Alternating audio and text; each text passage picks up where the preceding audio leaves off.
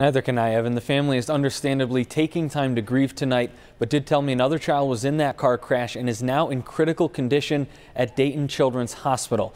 These photos show six-year-old Braden Jennings and his half-sister, eight-year-old Adrena. Family members say Adrena survived that crash Friday night and is now in the hospital.